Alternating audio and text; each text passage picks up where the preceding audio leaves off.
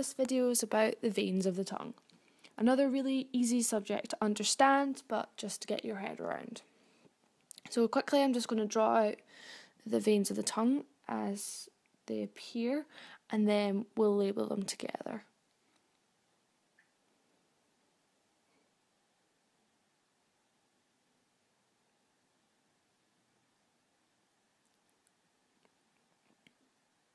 So I'm going to work my way away from the internal jugular vein, which is a really large vessel that you can see on the left there.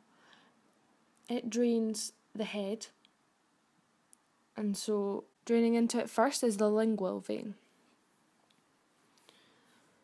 Draining into the lingual vein is then the dorsal lingual vein, which run alongside the lingual artery, but we'll draw them in later so we can get our head around that.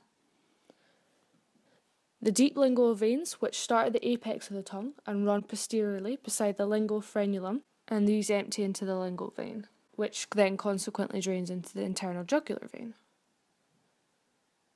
However, sometimes, for example, the sublingual vein may just drain straight into the internal jugular vein without first joining with the lingual vein. I've also just labelled what's called the vena comitans of hypoglossal nerve, also called the ranine vein, Vena comitans just means accompanying, something that accompanies. So the vein which accompanies the hypoglossal nerve. It's formed by the union of the deep lingual vein with the sublingual vein. It then accompanies the hypoglossal nerve and drains it. It runs back between the mylohyoid and hyoglossus muscles with the hypoglossal nerve to reach its destination. It then either joins with the lingual vein to enter the internal jugular vein, or it can just simply enter the internal jugular vein, or it can join the facial vein to then drain into the internal jugular vein.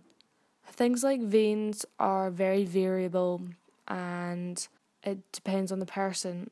So, what I've drawn is what you'd usually expect. It's also kind of based on Moore's clinically orientated anatomy, which is a good textbook to use.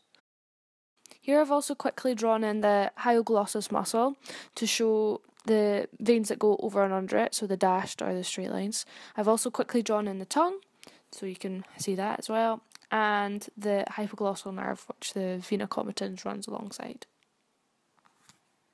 So now I'm just going to draw in the arteries so that you can kind of have an idea of how these vessels run together because it's sometimes important to visualize that as well. So I've just drawn the external carotid artery and I'm just drawing the lingual artery.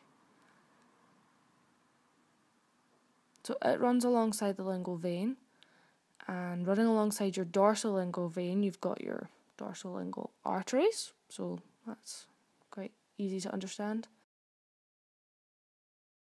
And then running up beside your deep lingual veins are going to be your deep lingual arteries, also fairly easy to grasp. So, a fairly horrendous drawing, I'm really sorry. But what I'm showing here is the inside of the mouth, if you were to open your mouth wide. And at the back is the uvula, which you can see if you look in the mirror at the back of your mouth.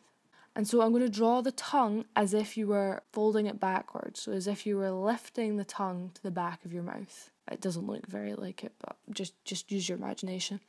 Um, so what you can see there is the frenulum, which is the bit that holds the tongue to the floor of your mouth, so that you'd see that if you lifted your tongue up. And what I'm trying to show here is that if you do do this and you go away and you look in a mirror, you can actually see your deep lingual veins, one on either side, running ne- right next to your frenulum on the tongue.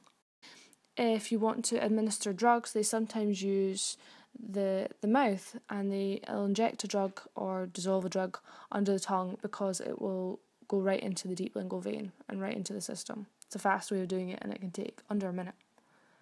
It's your fact of the day. I hope this video has been useful for you and please do go and try some of the quizzes to see how much you've learned.